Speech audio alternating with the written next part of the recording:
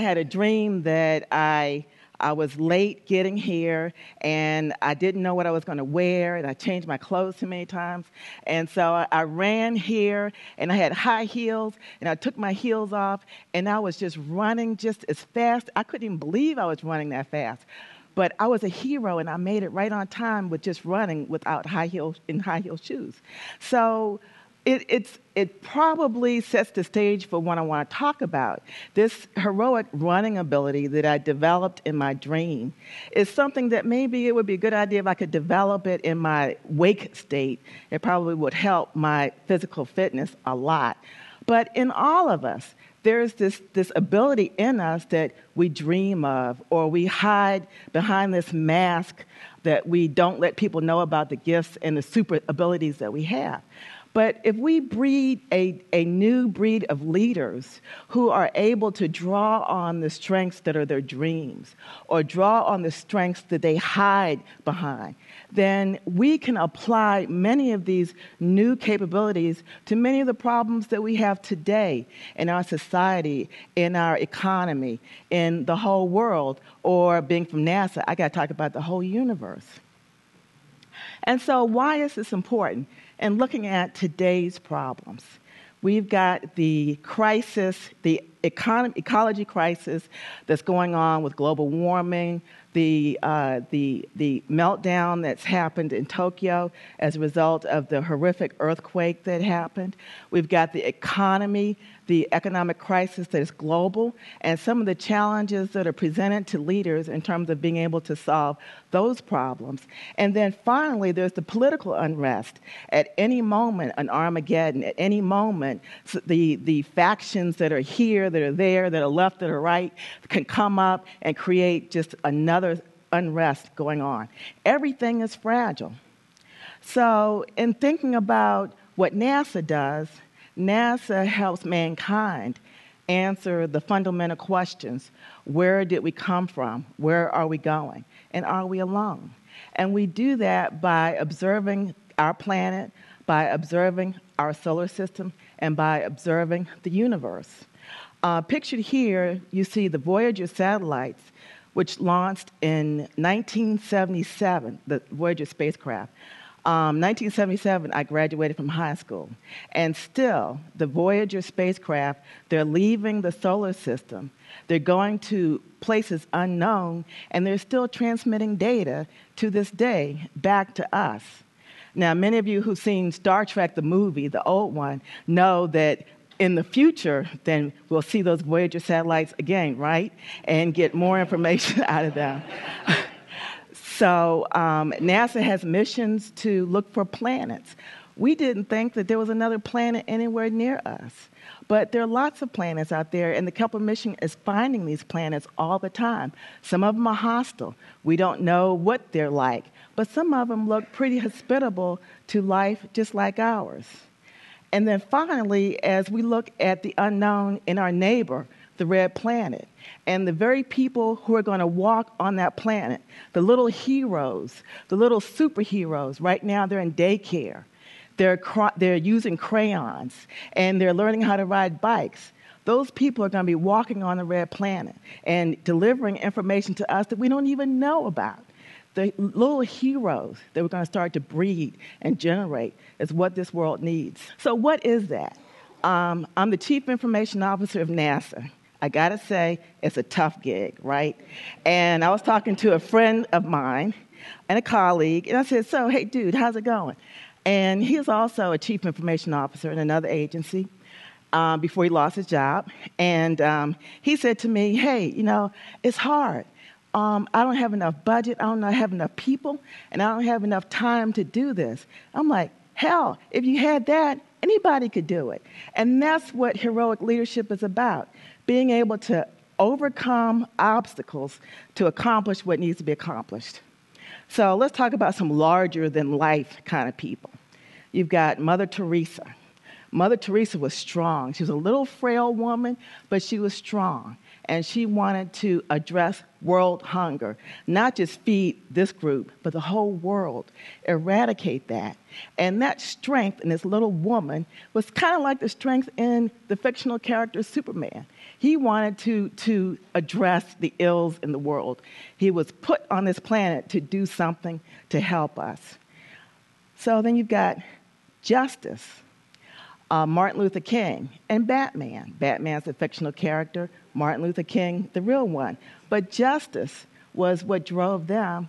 Batman witnessed in the fictional story, the way it goes, his parents being brutally murdered in front of him. And that sense of justice and right and wrong um, stayed with him and formed the person behind the mask that he was. Martin Luther King lived with the injustice and wanted to make a difference and saw a vision for a different kind of life, a different kind of life for everybody.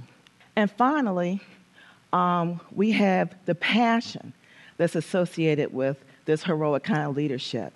Joan of Arc didn't really understand what she heard, but she knew that it fueled her to do whatever it, she needed to do to save France.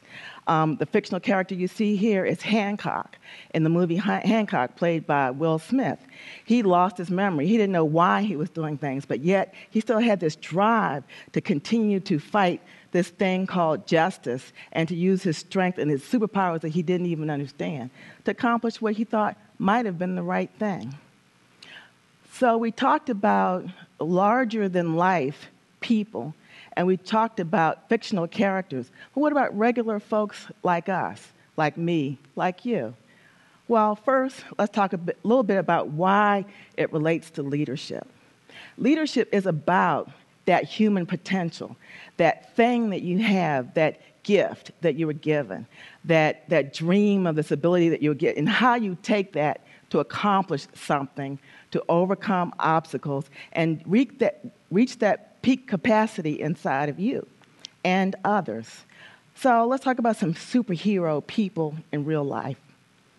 Um, you've got um, twins, Bob and Mike Bryan. They could read minds. They could read minds. And that's what I say anyway. But um, they use their, that ability to become very, very um, unbeatable almost in terms of the tennis doubles world. One knew exactly where the ball, the other one was going to hit the ball, and they were able to respond and turn that into wins. Here's some super women right here. They lifted a car off of a young boy. Um, something happened, a little boy got in trouble, and these superhuman women were able to go and lift it. They weren't weight lifters, but they were just women who saw trouble and they were able to go and lift this car off of this little boy. And then finally, we've got a soldier, a sergeant, who walked through fire seven times. His vehicle was attacked and he, uh, he was thrown out of it. He was drenched with fuel. He went back in this burning vehicle, caught on fire, and seven times he went and took out his buddies. Um, one of the final times he went in there, his clothes were burned. They were just ashes. The only thing left was his helmet and his body armor. He eventually died, but he saved the lives of two of those people who were in the vehicle with him that day. He walked through fire. So, how did these people do this? How does this happen? And there, there's not a lot of research about this because it happens to be unethical to put somebody in this kind of situation and say, oh, okay, now let's see if you can lift this car. Because part of what gives them this ability to do it has to do with fear and our body's response to fear, to stress, to whatever that is. And the courage of their spirit causes them to take this fear and the stuff that happens to your body in a physiological kind of way, use it to do things like lift the car or walk through fire or whatever the things that you have to do. Like my CIO buddy, maybe the fear that he had could have overcome the lack of budget, people, resources, and time in order to do what he needed to do. So, along with the courage that's generated by fear, because if you didn't have fear, you wouldn't need courage, um, is the notion of integrity and truth. And a lot of times people say, well, what is that? Is it relative? No, it's absolute. It's absolute. And if you think about what that means, think about what lying means. Lying does some damage. Lying weakens you in a way. But when you use truth and integrity as a person and then as a leader, then you can accomplish some of these superhero kinds of things.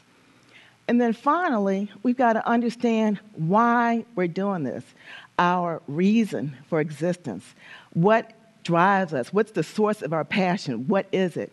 And it's a different thing for everybody. It's something for this person, for that person, for the other person. Um, one of the things that Viktor Frankl understood as he studied uh, people in the experience of being in a Nazi POW camp, that when people lost everything, their money, their identity, all their possessions, at the end of the day, the people who survived were the people who knew why they needed to exist, who knew the source of their strength and could draw on that and draw on that to survive. So, when we think about some of these larger than life people, and we think about the fictional characters, and we think about ourselves, we hide behind this mask that we don't let anybody see. Just like in my dream last night, which was a dream, I dreamt that I was a runner. I dreamt that I could just sprint it right across the theater, and I got right on my spot, right on time. Well dressed, I might add. But, uh, but, but what if we're able to be the person behind the mask? The mask gives us the ability to be anonymous. If I'm anonymous, then I can be like Batman. I can go and I can do all these things. But what if I could behave like Batman without my mask? The everyday thing. And that mask gives you the ability to know who you really are and what your strength is, but let's bring it out. Let's bring that out. So, in conclusion, I want to talk about what that means in terms of going forward. You have the mask of the fireman who's always prepared, who always sits and waits for a moment's notice. And behind the mask of the fireman is a very brave and prepared person that will walk through fire in order to save lives. That's important. That's preparation. Or maybe this, the mask of the doctor, the physician, who studied for years to understand his or her craft, to understand what is needed to translate this idea about chemistry, biology, all that kind of stuff, but translate it to something that means something, to save lives, to do the things like Mother Teresa did, and launch that knowledge into energy in order to do something. And then finally, we have the mask of the astronaut. Um, the young explorers now who are in daycare and, and drawing pictures of rockets, who will one day be on a rocket and who will one day walk on our red planet, the neighbor. So, inspiring the people, the little kids right now to do that, inspiring the leadership spark that's in them. And inspire means to breathe life in to breathe the spirit of the new young superhero leaders who will walk on their planet. It's very important. It's important right now to our lives, our children's lives, and our ability as individuals.